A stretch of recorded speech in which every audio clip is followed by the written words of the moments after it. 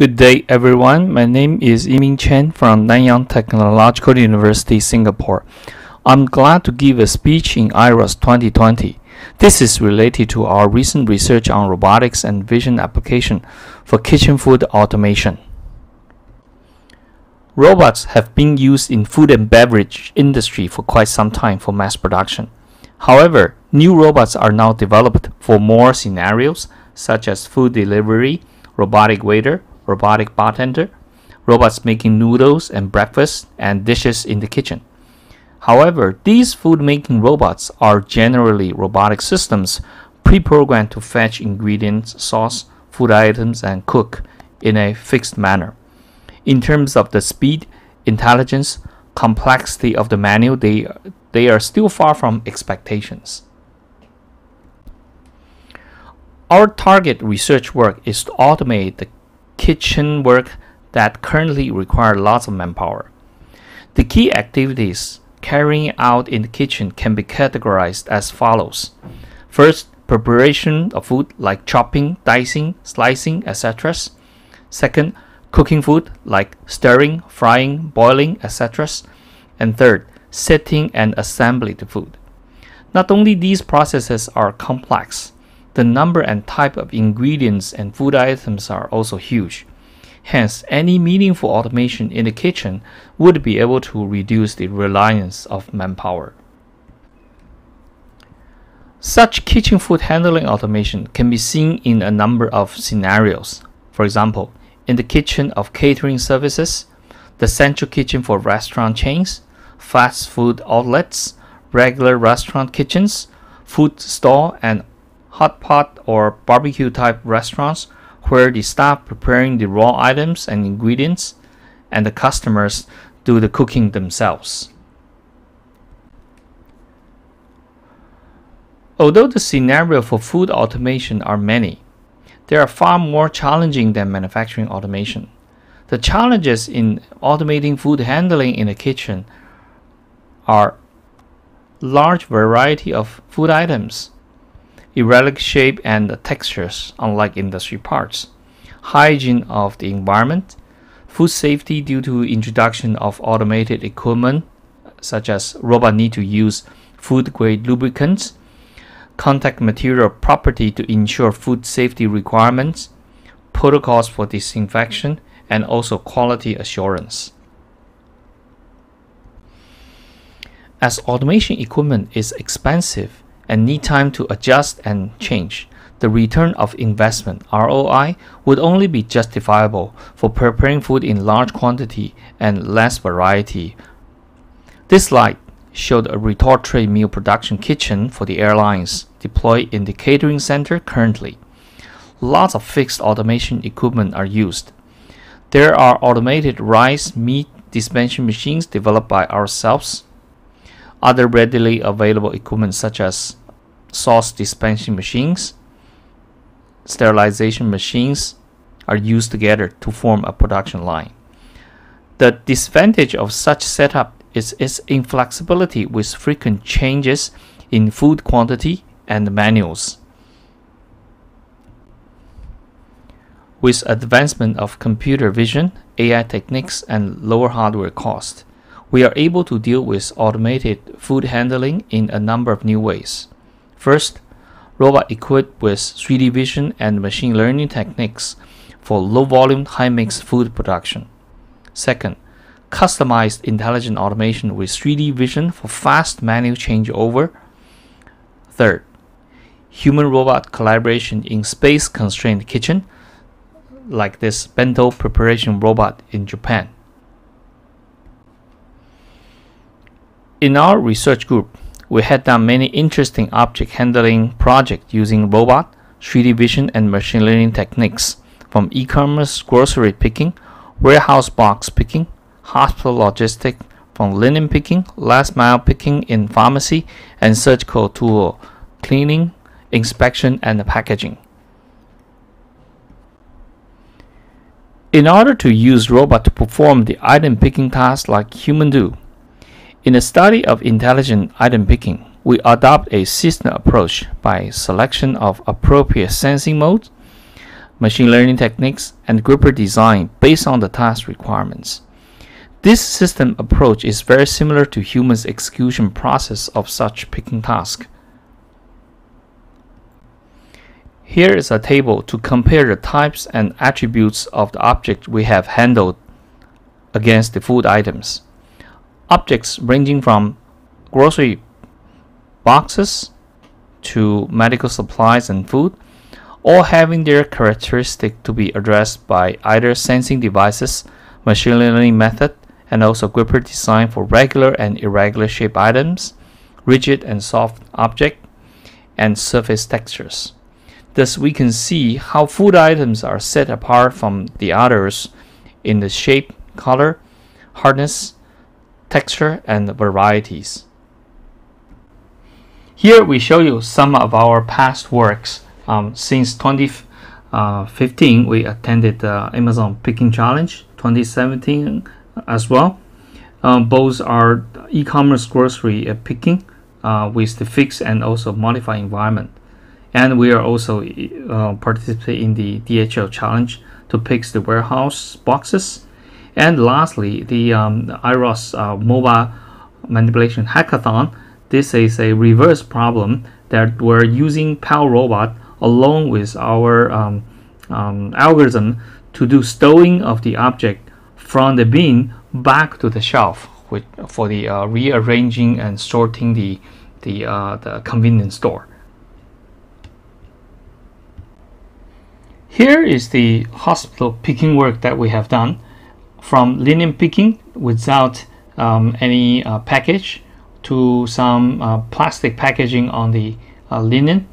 Um, then in this case we're using different type of uh, uh, effector to achieve the job as well as the uh, the hospital pharmacy picking for the last mile solution from the medicine dispensing machine to the labeling machines. And finally, that's the surgical tool um, picking as well as sorting.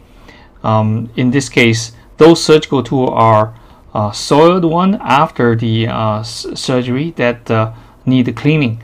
Prior to the cleaning, they need to sort it out. So in this case, the challenge is that the, um, the texture and the material of the surgical tool and the tray, they are all stainless steel.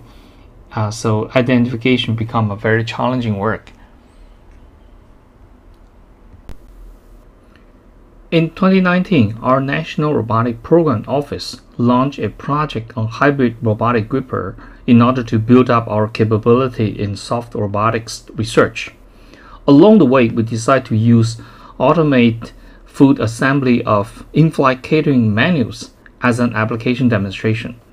We work with SATS to refine the technology for assembling meals for patients, healthcare staff, and volunteers in the hospitals during this uh, COVID-19 situation.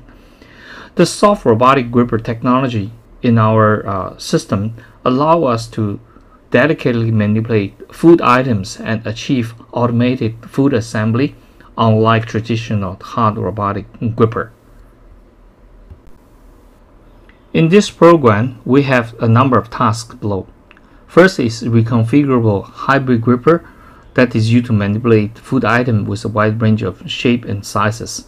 Second is the embedded tactile sensor into the soft material that will be able to help to identify the best picking positions and also the grasp configuration. And then there are also study on the different kind of gripper postures to do uh, scooping, pinching, and also grasping.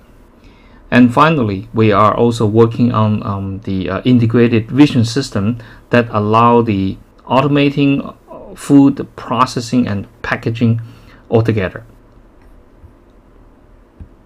The whole program involving uh, Nanyang Technological University, National University of Singapore, Singapore University of Technology Design, and A-Star Research Institute. This video show our colleagues in NUS designing the reconfigurable hybrid grippers that can handle different kind of food items from very um, rigid item to uh, very soft or fragile items such as tofu. Currently, it shows only the capability of the gripper without a vision system it's not at the integration level but you can see that it can also handle a large um, uh, loose largely loose item like uh, noodles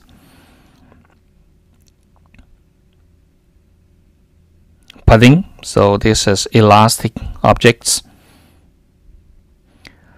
the sleeve here uh, do have the uh, food grade um, uh, property.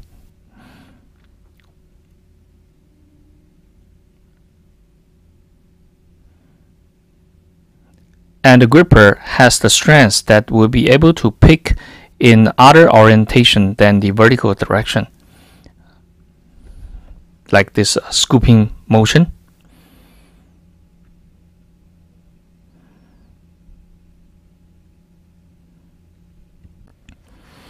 We also have colleagues in SUTD to design integrated uh, fabrication of multiple soft materials in order to change the uh, soft finger properties um, by customization.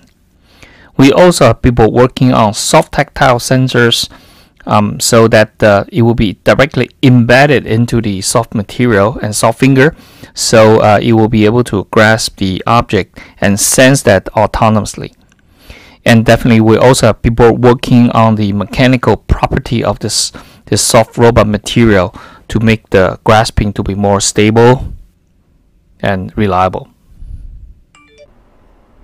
in this project our task is to design the vision system as well as system integration.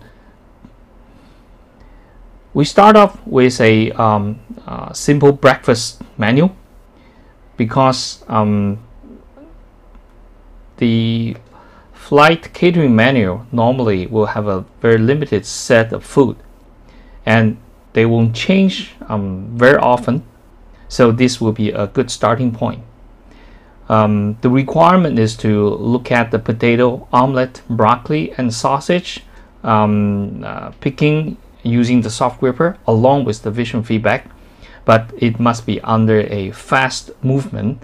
Uh, we need to complete the whole uh, casserole picking within 15 seconds.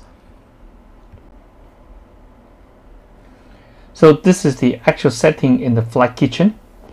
Normally, uh, one menu will have three things the starch item which is could be rice noodle but spaghetti or even potato and then there will be a protein item which means the meat or fish and a vegetable item so normally the food will be prepared in a very um, large utensils in large quantity and then the chef will prepare a sample which is the as shown you here in the upper right and then all other workers will prepare and assemble every casserole according to this sample. Specific uh, uh, ethnic groups with small quantity like Japanese, kosher, vegetarian, halal uh, food will be prepared separately. Yeah. After each tray is set, then they will put on a big table according to the, the different flights. And the quality assurance check is done by human visually. Uh, so they can see all the prepared casseroles on the table and very easy to add, spot the errors that under such kind of uh, uh, arrangement. This system consists of a Delta robot frequently used in food industry for its speed and also working envelope. We have two conveyor belts going in and out of robot work cell. The input conveyor belt holds cooked food in large trays. The output conveyor belt holds the meal casseroles. At both sides, we have the RGBD cameras to be able to identify the food items. The configuration of the system is as follows. We have a system controller running the visual module in ROS. The controller is linked with camera for identification learning, and robot motion control. After coordinates of the target have been identified, they are sent to the robot controller for activation. This controller also activates the gripper's motion either via pneumatic valves or motors. Delta Robot does not have ROS support, so all of the motion code is in the native ABB language called Rapid.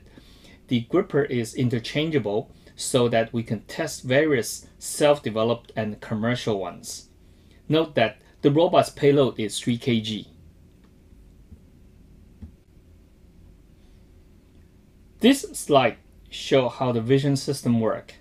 The camera uses structured light and RGB sensors to generate RGBD data. The depth server uses the point cloud component of the data to determine the location of the highest food item. This highest item will be picked first. The object detector uses the RGB component to segment individual items and determine the target pose. The pose server combines this to recommend the target and provide the 3D coordinates. Each scan takes about 2 seconds and it triggered in synchronization by the robot controller. This makes sure that the Delta robot does not block the sensor during scanning. For convenience, our initial tests were first made with fake food that you see on the left you can see that there are sausages, tomatoes, broccoli, and potatoes. On the right side, the result of the vision module is shown. First, you can see the bounding boxes highlighting the detected food items with pose data. At the bottom right, we can note that the false color image based on the depth data. From these pictures, we can appreciate that both type of the results are essential for this application. Although fake food are convenient, they are not good replacement for real foods in some aspects. First, the optical characteristic may not match real foods. The shining, especially on fake potatoes, result in noisy depth data. Second, their weight and surface texture make them unnecessarily difficult to pick. For example, the fake potatoes and broccoli made with rubber are rigid and heavy, while the fake potatoes are very light and elastic.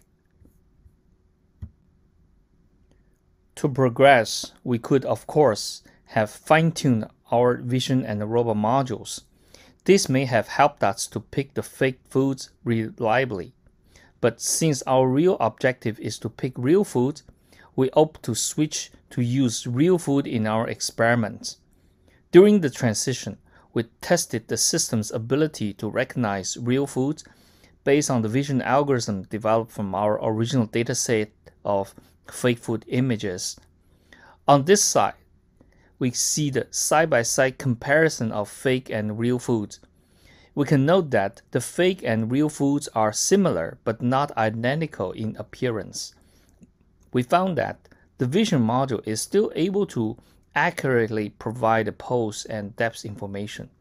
However, to ensure that the object recognition is robust, we retrain the algorithm using a new data set of images of real foods, which our current system is using. We also begin the training of a new food item which was the omelette. So here we can see the vision module functioning with the new algorithm and also the result from applying training images of the omelette. This new algorithm is able to detect the food items like the previous one. And it is also similarly able to recommend targets for the Delta robot to pick. One factor we noticed is that the omelette cubes have to be spaced apart. If we put them in a pile, the cubes will fall apart when the gripper pushes down on the pile. So this is the full system assembling the meals. You may notice that the bright flashes on the left side. That is the camera using structured light to generate point cloud data.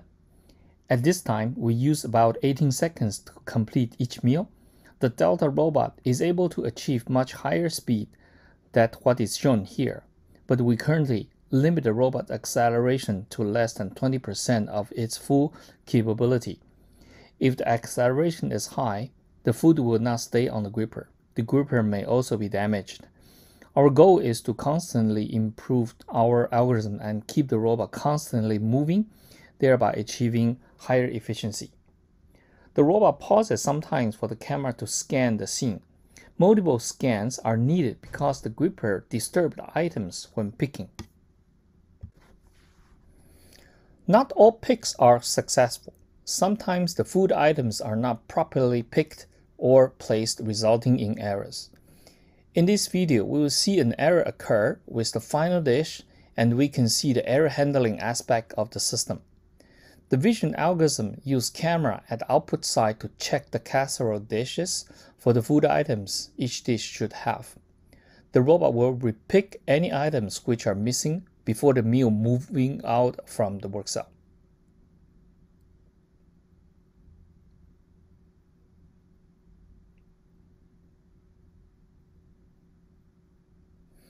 Now we're looking at the view from both input and output cameras. We can see the sampling from each of the camera has to be synchronized so that the robot does not obstruct the image.